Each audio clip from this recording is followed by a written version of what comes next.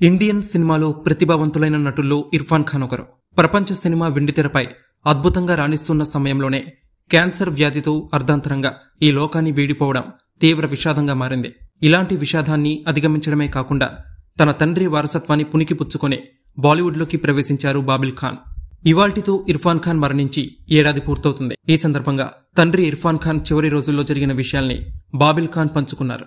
మరణం తప్పదనే విషయాన్ని నాన్న ముందే గ్రహించారు. అందుకైన మానసికంగా సిద్ధమయ్యారు. తన మరణం తర్వాత కుటుంబం ఎలాంటి సమస్యల్ని ఎదుర్కోకుండా మానసికంగా ధైర్యాన్ని చెప్పేవారు. మమ్మల్ని కూడా అలాంటి విపత్తుని ఎదుర్కోవడానికి ముందే ప్రిపేర్ చేశారని బాబిల్ ఖాన్ తెలిపారు. నాన్న ఇర్ఫాన్ ఖాన్ ఆరోగ్యం రోజురోజుకి క్షీణిస్తుండటంతో హాస్పిటల్లో చేర్పించాం. చివరి రోజుల్లో మెల్లమెల్లగా స్పృహను కోల్పోయారు. మరణానికి చివరి రెండు రోజుల్లో హాస్పిటల్లో ఆయన వెంట నేనున్నాను. ఓ రోజు ఇర్ఫాన్ ఖాన్ నేను చనిపోవడం ఖాయమని నాతో చెప్పారు. అప్పుడు నేను అలా అనకండి మీకేమీ కాదు అని చెప్పే ప్రయత్నం చేశాను. దాంతో ఆయన నవ్వుతూ నిద్రలోకి జారిపోయారు. ఆయన మృత్యువుకు లొంగిపోయారనే విషయం నాకప్పుడే అనిపించింది. ఆ తర్వాత నేను పూర్తిగా మౌనంలో మునిగిపోయానని బాబిల్ ఖాన్ తెలిపారు.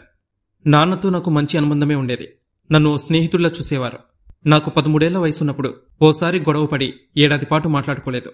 ఆ తర్వాత మా మధ్య బంధం మరింత బలపడింది. నీకు వయసు కంటే ఎక్కువగా మెచ్యూరిటీ వచ్చింది. అలా రాకుండా ఉండాల్సిందని నాతో నాన్న అంటుండేవారని తండ్రి గురించి బాబిల్ ఖాన్ చెప్పారు. ఇర్ఫాన్ గురించి భార్య సుతాప చెప్తూ ఆయనకు జాతకాలపై బలమైన నమ్మకం ఉండేది. ఆయన ముస్లిం మతానికి నేను హిందూ మతానికి చెందిన వాళ్ళం నాకు జన్మకుండలి లేకుంటే ఆయనే రాయించారు. తన లైఫ్ గురించి అంతా ముందే తెలుసు. తను ఎప్పుడు చనిపోతారనే విషయం మేం తొలిసారి కలిసినప్పటి నుంచి ఆయనకి తెలుసని సుతాపా వెల్లడించారు.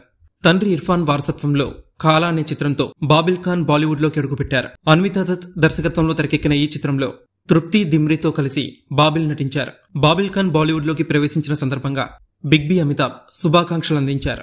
తండ్రి మాదిరిగా ఉన్నత శిఖరాల్ని అధిరోహించాలని బిగ్ బి ఆకాంక్షించారు.